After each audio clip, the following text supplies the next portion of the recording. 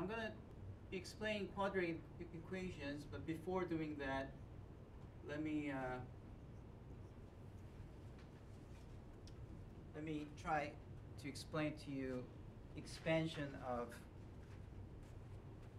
polynomials. So if you have x plus 2 times x minus 5, you are told to FOIL it, uh, meaning that you multiply pairwise?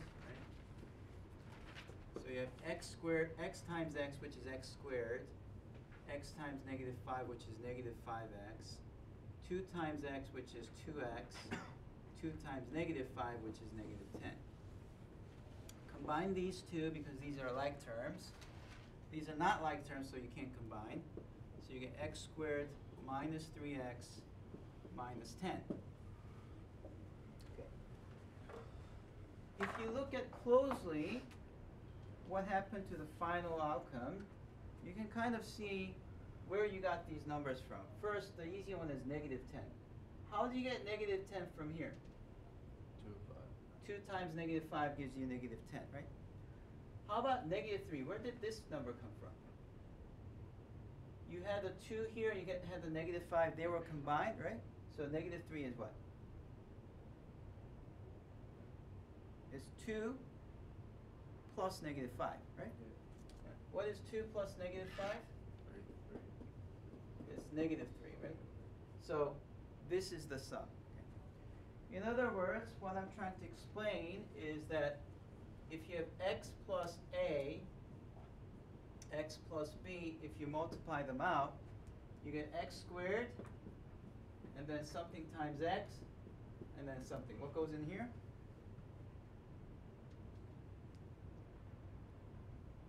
I guess this is easier. What goes in here? A and B are some numbers. So what goes in here? A times B. Yeah. Yeah, A times B. These two numbers multiplied will go in here. What goes in here? A plus B. So that's the way you expand polynomials. However, when we try to solve equations, quadratic equations, we have to do the opposite. We have to be able to go from here to there. Okay? So, uh, in other words, let's say you're given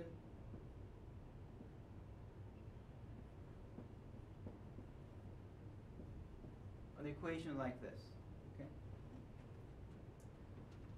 Now, the way you solve this is by writing this as something times something equal to 0. And since you have x squared, it must have x here and x there. And there are some unknown numbers a and b. But we know that the sum of a plus b is what? Is this number, negative 6, right? What's a times b?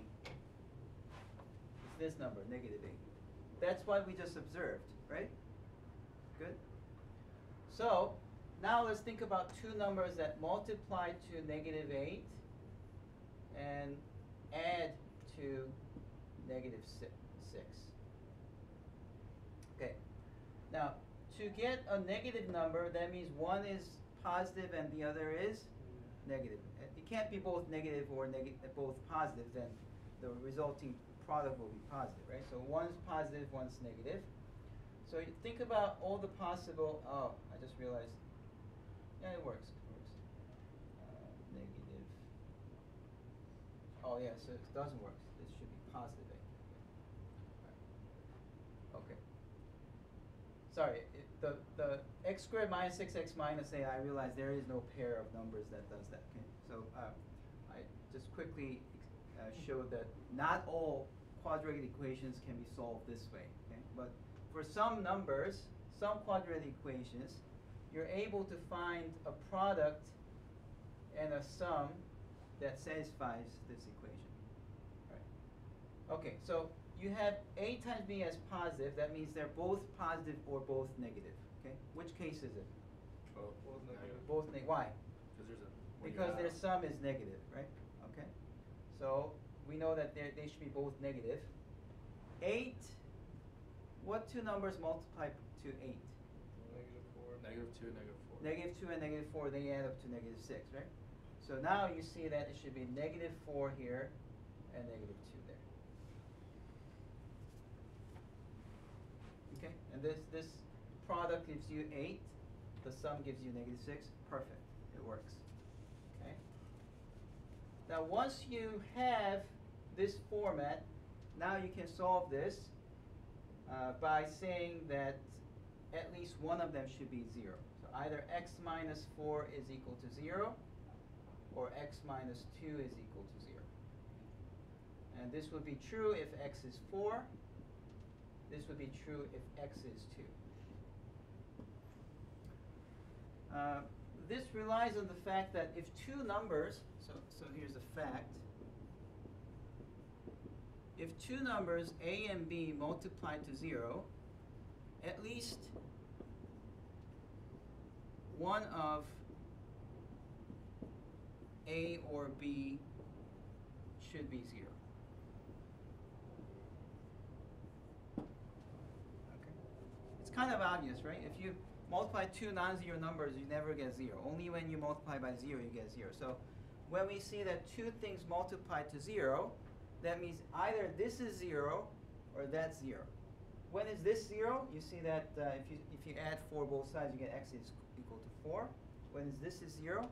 Uh, that's when x is two. So you have two solutions.